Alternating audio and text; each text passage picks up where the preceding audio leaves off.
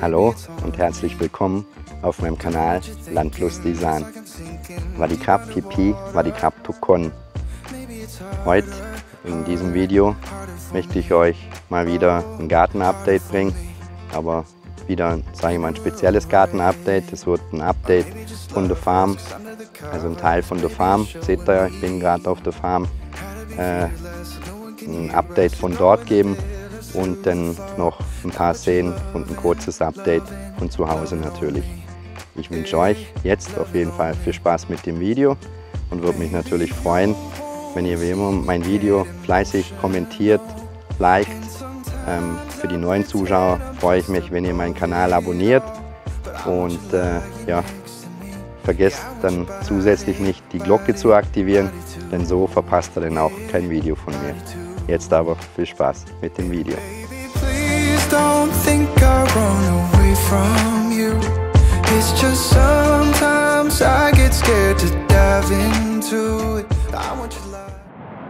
In dem Video, wie bereits angesprochen, ähm, werdet ihr einfach äh, ein paar Sachen von der Farm sehen. Da ist doch einiges auch, wo jetzt ähm, wächst, früchtetechnisch auch zu sehen, ähm, blumentechnisch ist ein bisschen was zu sehen auf der Farm.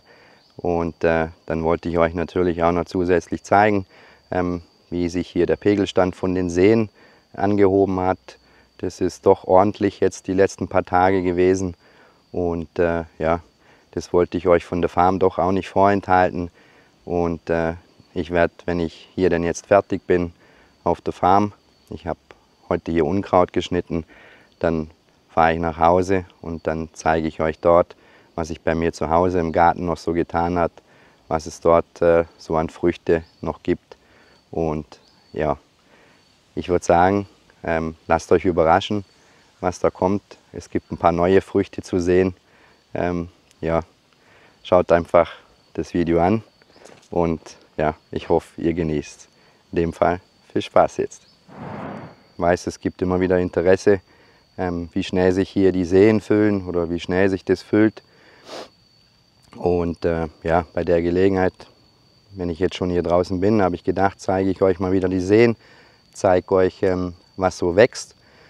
Und ähm, aktuell eben die zwei kleinen Teiche vorm Haus, die sind jetzt schon ordentlich gefüllt.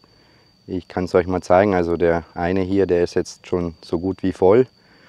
Ich zeige es euch mal. Da seht ihr jetzt äh, der See der, oder der kleine Teich relativ voll ist. Wenn ihr seht, hier ist das Überlaufrohr, wo es dann äh, aufs Feld drüber läuft. Das, der Wasserpegel ist schon fast am Rohr. Also der kleine Teich hier, der ist schon, ja, wie tief sind die? Anderthalb Meter, zwei Meter tief, nicht so tief. Das ist der kleine Teich. Ähm, und sonst, was hier so wächst, ähm, ich habe mir gerade wieder zwei Ananas geholt, die ich mir sicherlich heute Abend noch schmecken lassen werde. Und ja, das ist schon mal das Erste, was ich hier aktuell entdeckt habe. Laufen wir noch weiter. Ich finde sicherlich noch ein paar andere Früchte, die es hier gibt. Maybe we're over it Or maybe just lovers Cause under the covers Baby, you're showing me Jetzt habe ich die nächste Frucht entdeckt. Die will ich euch auch nicht vorenthalten. Ich dachte eigentlich, äh, es ist so gut durch mit den Mangos. Aber es gibt diverse Mangosorten, die bei genügend Wasser auch ähm, ganzjährig äh, Früchte tragen. Und ja, der Baum hier scheint einer davon zu sein. Äh, auf jeden Fall hängt eine kleine Mango dran. Die zeige ich euch jetzt mal. Da seht ihr die kleine Mango von dem Mangobaum hier. Bin gespannt, ob der Baum die Mango hält. Lasse ich mich einfach überraschen. Aber Mangos gibt es auf jeden Fall auch noch. Jetzt habe ich schon die nächste, nächsten Früchte entdeckt. Ähm, leider kann ich euch nicht sagen, wie die heißen. Also ich sage es einfach mal ähm, auf Thai. Ähm, Wenn es nicht so ist, meine Schwägerin weiß ich, die schaut meine Videos immer, dann bitte berichtigen oder mir mitteilen, wie es heißt. Für die anderen Zuschauer natürlich, ähm, wenn ihr es wisst, könnt das gerne in die Kommentare schreiben. Ähm, ich meine es, der, die Früchte heißen Makgem oder Gen, wie auch immer. Ich weiß, die schmecken relativ äh, pflaumenartig und ähm, ja, also letztes Jahr waren die Früchte sehr süß, eben wie eine Pflaume eigentlich. Ähm, wir haben einen Baum, der relativ große Früchte bekommt, dennoch einen Baum, wo die Früchte ein bisschen kleiner bleiben. Ähm, ich würde sagen, ich zeige euch einfach mal die Früchte und den Baum. Denn ja, wenn ihr es wisst, schreibt es einfach in die Kommentare. Das sind jetzt äh, diese Früchte dort.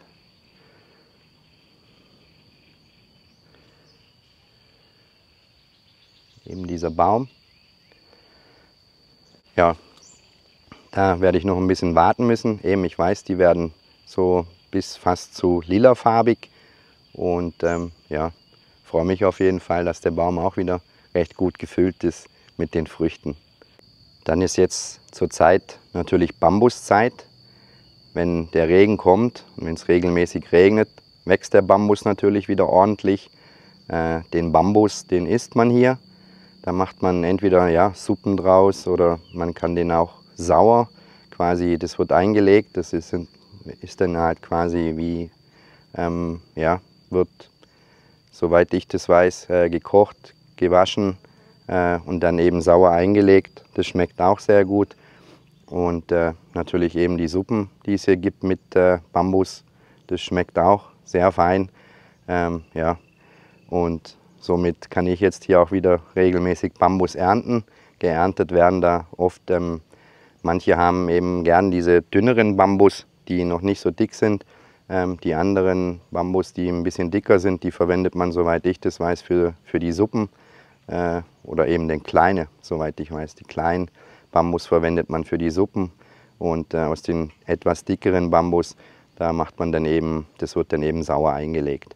Zeige euch gerade mal den Bambus, den ich mir nachher oder vielleicht bis in ein, zwei, drei Tagen ernten werde. Da seht ihr den Bambus, also der, den lasse ich, denke ich, noch ein bisschen wachsen äh, und dann werde ich den ernten.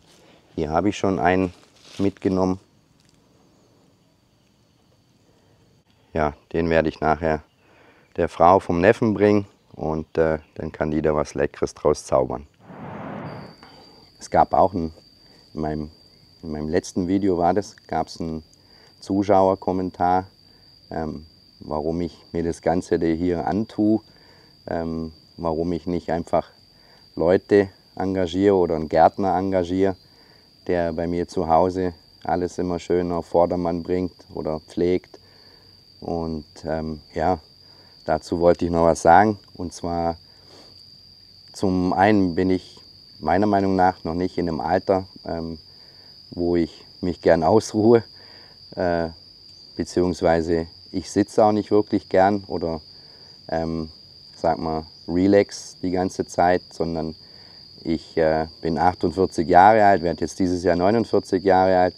Wenn ich noch in Deutschland oder in der Schweiz wäre, ähm, würde ich dort auch noch arbeiten. Ähm, und somit fühle ich mich einfach noch nicht so, äh, dass ich nicht mehr arbeiten müsste. Ich arbeite auch gern natürlich im Garten. Ich denke, das sieht man auch. Und ähm, möchte mir das ehrlich gesagt auch nicht nehmen lassen, ähm, weil, weil ich da wirklich Freude dran habe, äh, noch selbst was tun zu können.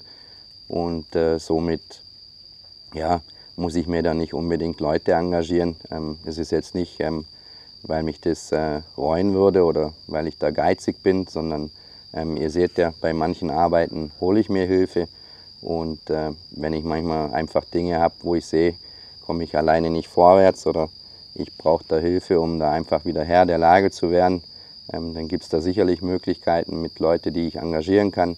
Aber sofern ich da noch irgendwas alleine machen kann, äh, genieße ich das und ähm, ja, wie gesagt, habe da auch Freude dran, macht mir Spaß. Also warum sollte ich da irgendjemand äh, meinen Garten pflegen lassen? Ähm, ja, so kann ich das Ganze selbst auch noch viel mehr genießen. Ich denke, äh, ja, man muss das Leben auch so lange genießen, ähm, solange man es noch kann. Ich kann es noch und ähm, ja, also das ist einfach so als Antwort auf den einen Kommentar, äh, den es da gab. Ähm, ja, ich werde weiterhin trotzdem im Garten arbeiten. Und äh, ja, trotzdem vielen Dank für den Kommentar. Ich denke, die Zeit kommt denn irgendwann, wo ich dann wirklich äh, nur noch relax und mir das Ganze hier anschaue und genieße und andere arbeiten lasse. You keep me wondering, is our love strong? Just like a love song, baby, it's haunting me. Don't know what you're thinking, it's like I'm sinking deep underwater. Maybe it's harder, harder, harder for me. Dann zeige ich euch noch äh, den großen See, wie sich dort der Pegelstand mittlerweile äh, gehoben hat. Äh, das ist auch ordentlich. Ähm, er wird jetzt bald wieder über die erste oder die oberste Stufe steigen.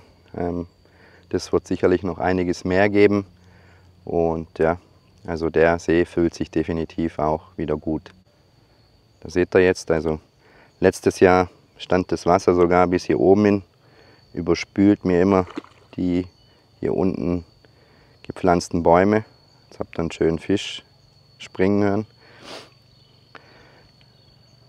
Äh, eben dort seht ihr auch, also der Wasserpegel ist auch schön angestiegen. Ja, es hat äh, die letzten Tage immer mal wieder ganz kräftig geregnet, also über Stunden lang ging das. Äh, nicht stark, aber doch einfach kontinuierlich über eine längere Zeit und dementsprechend füllen sich natürlich auch die Seen wieder. Jetzt stehe ich hier an den kleinen Fischteichen, die ich damals hatte. Ähm, die hatten wir ja leer gemacht, also abgefischt. Und ähm, bei dem Abfischen äh, sind natürlich die ganzen Wasserpflanzen äh, ein bisschen in Mitleidenschaft gezogen worden. Meine Frau war darüber sehr traurig. Ähm, sie hatte da Bedenken, ja, dass da keine Wasserpflanzen oder halt Seerosen äh, mehr drin sind, ähm, diese Bua. Aber ich kann ihr sagen, äh, es sind noch welche da. Äh, und die Seen oder die kleinen Teiche haben sich natürlich auch jetzt gut gefüllt. Und äh, ich bin froh, dass die Bua, die Seerosen da jetzt auch wieder anfangen äh, zu wachsen. Und ja, zeige euch die zwei kleinen Teiche auch mal noch kurz. Da seht ihr jetzt also auch der hintere Teich, der hat sich schon gefüllt. Ähm, ist quasi so ein Mittelsteg. Der ist jetzt auch schon bald wieder unter Wasser. Also auch hier hat sich das ordentlich angehoben. Und hier sieht man schön, dass die Seerosen doch wieder kommen.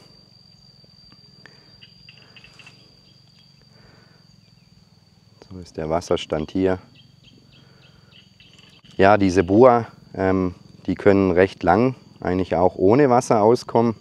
Ähm, sie ziehen dann trotzdem über die Wurzeln. Äh, irgendwo ist Wasser trotzdem noch her. Und ähm, ja, der See war auch eine längere Zeit ausgetrocknet, aber ihr seht, ähm, sie wachsen doch noch, diese Seerosen, Bua. Und äh, ja, ich denke, meine Frau hat da Freude dran. Ich, dadurch, dass jetzt hier keine Fischnetze mehr drin sind, ähm, kann sich das jetzt natürlich auch schön verteilen. Und ja, ich denke, dass das da auch jetzt ordentlich hier anfängt, dann bald zu wachsen.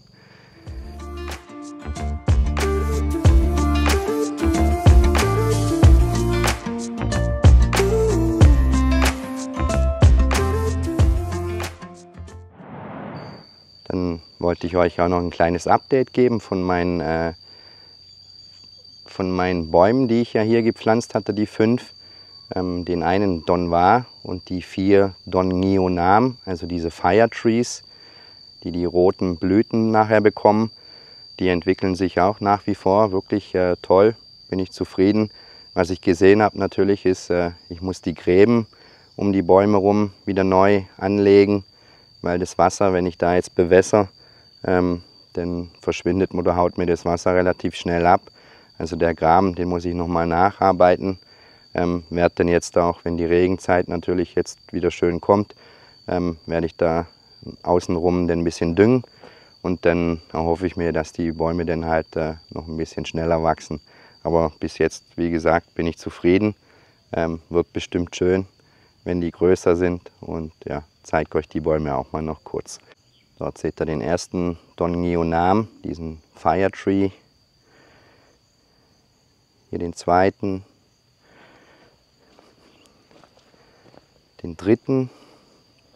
hier den, der vierte. Und hier der Donvar. Also die Bäume entwickeln sich eben auch nach wie vor wirklich äh, zufriedenstellend, kann ich glücklich drüber sein. Und äh, ja, auch meine Frau, ich habe ihr da auch schon ein kleines Update geschickt, ähm, die hat sich auch darüber gefreut. Also ja, bin jetzt nur gespannt, wie es denn nachher aussieht, wenn die dann mal die ersten Blüten bekommen. Ja, meine Kokosnusspalmen, die haben jetzt auch allesamt eigentlich einen ordentlichen Schub gemacht. Ähm, die sind jetzt eigentlich bald schon wieder so weit, dass ich äh, die unteren äh, Blätter eigentlich abschneiden sollte. Und äh, mal schauen, wenn ich jetzt dazu komme. Gedüngt habe ich jetzt aktuell noch nicht, weil ich da wirklich jetzt noch auf den äh, dauerhaften Regen mal warte. Ähm, die, ich habe auf jeden Fall den Hühnermist, der ist parat. Ähm, der ist lange genug abgestanden.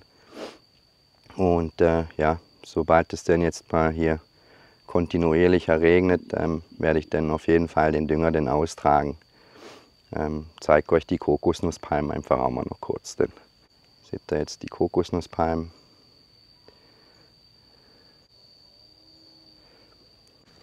Genau, also über das Wachstum von den Kokosnusspalmen, da kann ich auch nichts sagen. Ähm, die haben jetzt durch den Regen, der hin und wieder mal kam, eben ordentlich auch wieder äh, zugelegt. Ja. Was ich äh, mittlerweile auch ähm, festgestellt habe, ich hatte euch ja mal erzählt, ähm, dass immer mal wieder Raben in meinen Hühnerstall gekommen sind und mir diverse Eier dort geklaut haben. Äh, das Thema hat sich jetzt aber erledigt gehabt, ähm, dadurch, dass ich den äh, Hühnerstall besser verschlossen habe. Also bis, äh, ich habe teilweise ein paar Lücken entdeckt gehabt ähm, im oberen Bereich. Die hatte ich dann nachgebessert. Da kommen jetzt keine Raben mehr rein, das ist soweit erledigt. Ähm, ich habe auch soweit keine Schlangen irgendwie gesehen, dass die da Eier klauen. Ist eigentlich auch unmöglich mit dem Zaun, den ich drumherum habe.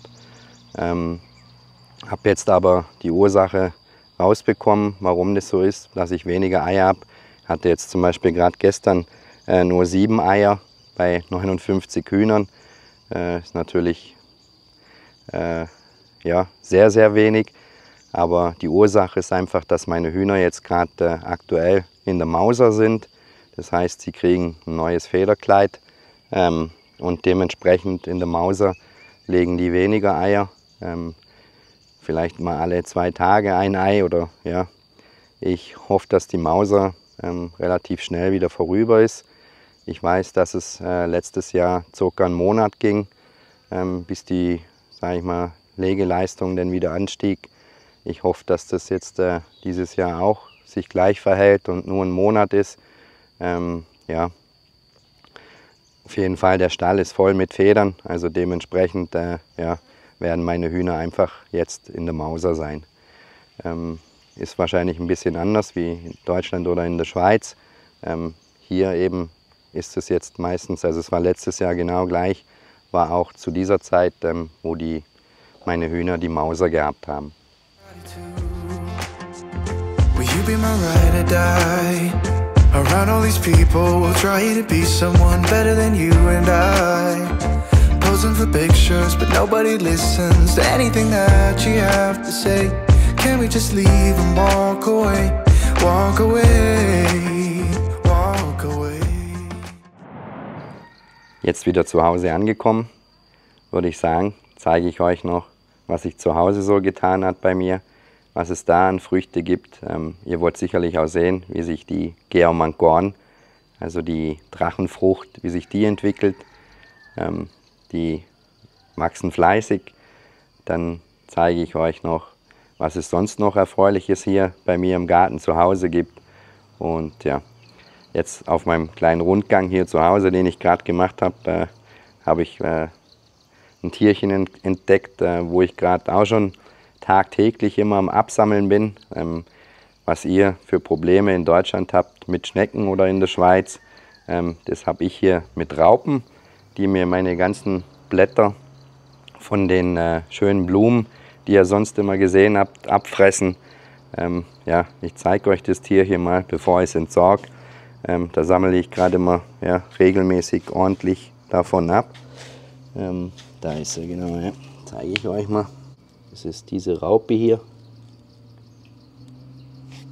Da ist sie genau, ja.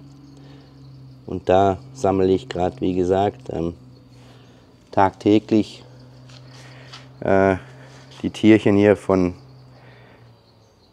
den Blumen ab, weil die mir immer wieder, ihr seht ja, die haben alle fast keine Blätter.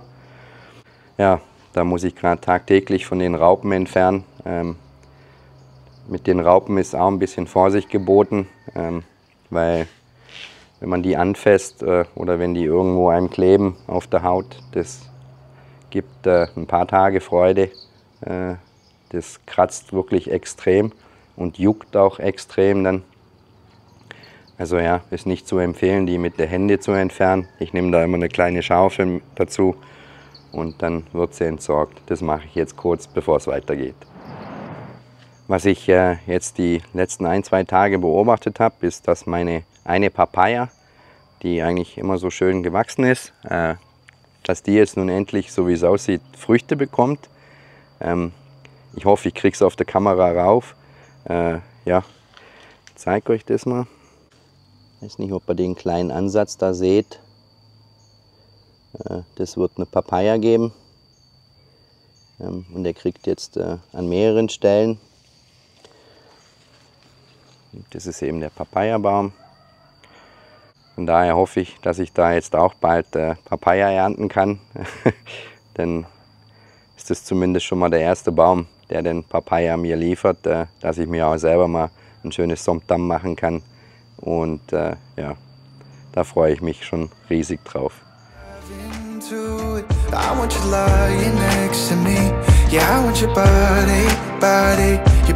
I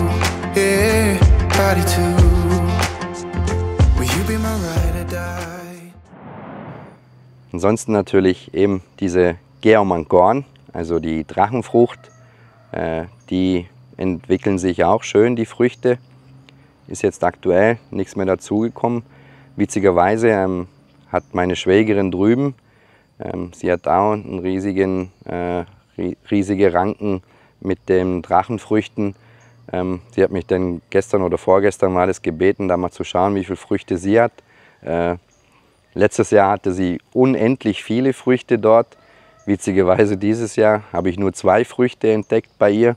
Ähm, da ist es äh, bei mir, äh, beziehungsweise sind ja auch ihre, ihre Pflanzen, aber die, die greife ich natürlich hier ab bei mir. Ähm, die haben hier jetzt ordentlich dieses Jahr Früchte und ich würde sagen, ich zeige euch die Drachenfrucht jetzt mal, wie schön die hier wächst.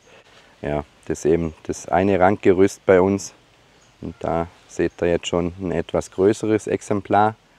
Wenn die dann nachher rot ist oder so rötlich wird, dann kann man sie im Prinzip abernten, wenn sie ein bisschen, äh, ja, wenn man sie ein bisschen eindrücken kann, dann haben wir hier nochmal eine, eine schöne, die ein bisschen größer geworden ist. Ja, also sie hat mehrere Früchte dran.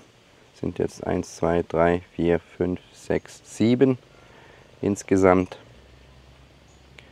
Und da freue ich mich jetzt eben schon riesig drauf, äh, wenn die denn reif sind, weil die habe ich wirklich gern, gerade zum Frühstück. Äh, sind nicht zu süß, ähm, da freue ich mich schon drauf.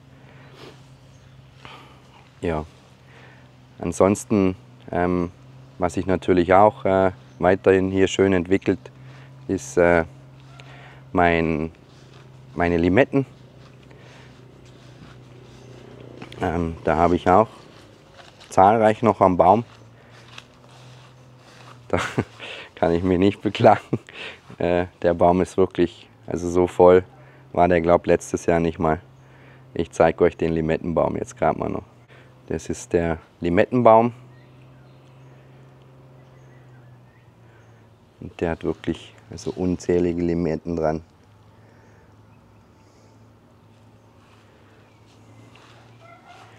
Wenn man das hier sieht,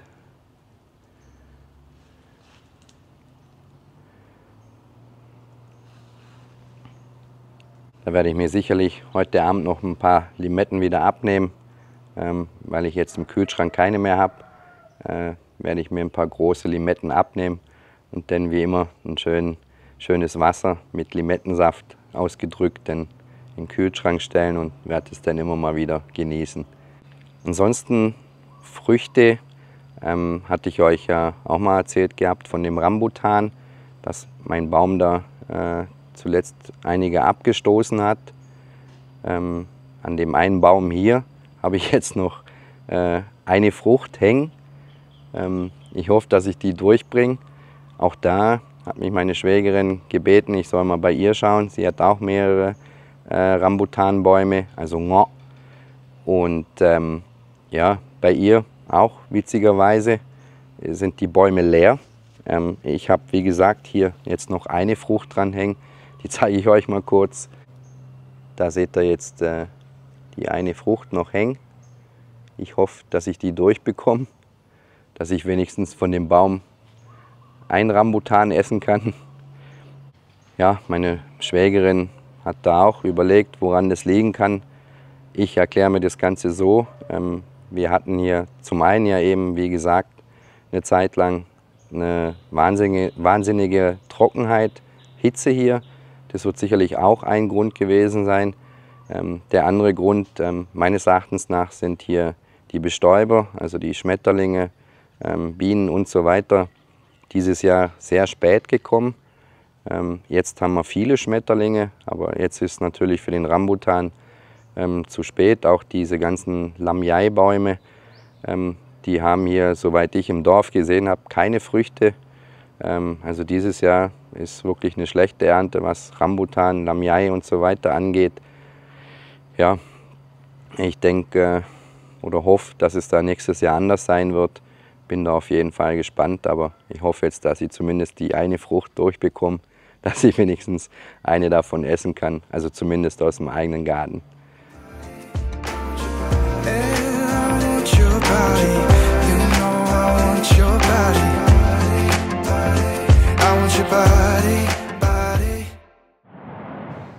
Ja, jetzt bin ich vorne auf dem Grundstück.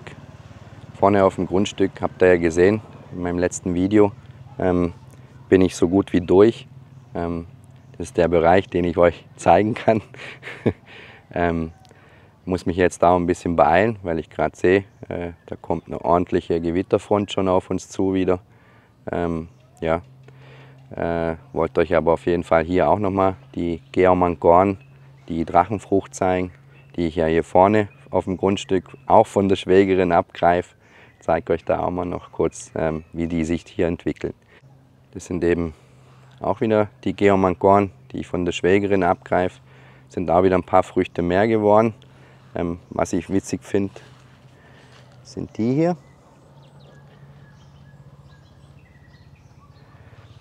Also hier an dem, an dem Ranggerüst habe ich jetzt 1, 2, 3, 4, 5, 6, auch sieben Früchte. Ja, ansonsten eben vorne sieht es jetzt so aus. Ähm, ich bin mit dem Ergebnis eigentlich zufrieden. Wie gesagt, da bin ich durch. Habt ihr ja gesehen mit der Hecke. Kokosnusspalmen sind auch okay. Und hier seht ihr eben, was wieder Schönes auf uns zukommt. Ähm, da wird wieder ordentlich was runterkommen.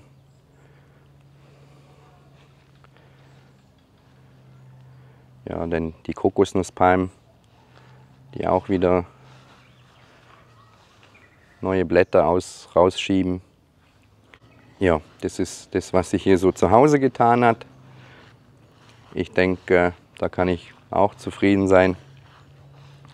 Und äh, ja, ich würde euch gern Drachenfrüchte schicken, aber leider muss ich sie halt selber essen. ja, Ansonsten dürft ihr sie gerne abholen kommen, wenn ihr das möchtet. ja, an der Stelle möchte ich jetzt das Video hier beenden, weil eben es kommt äh, ein ordentliches Gewitter auf uns zu, wie ich das sehe. Und ich wollte eigentlich noch ein bisschen was machen. Ich will die neue Heckenschere noch ausprobieren. Wollte äh, die noch mal testen, ob die was taugt, was ich da gekauft habe. Ähm, ja, ich sage an der Stelle auf jeden Fall auch mal Danke an meine Frau, die mir die gesponsert hat. sie hat gesagt, äh, es kann nicht sein äh, ohne Heckenschere. Sie wollte mir eigentlich eine aus der Schweiz mitbringen. Ähm, ich habe dann gesagt, bis du kommst im August, ähm, da sind die Bäume hier zwei, drei Meter hoch. Ähm, besser, wir kaufen hier was.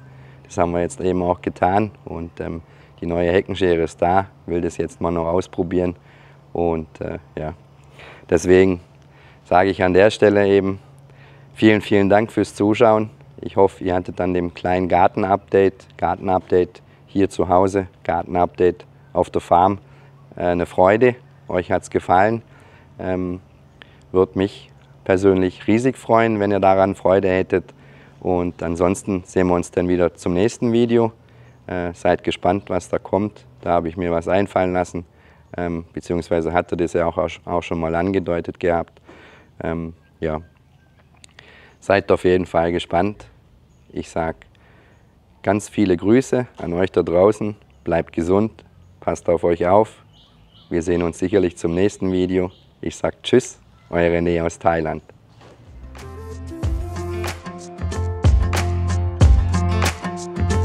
You keep me wondering Is our love strong? Just like a love song Baby, it's haunting me Don't know what you're thinking It's like I'm sinking deep underwater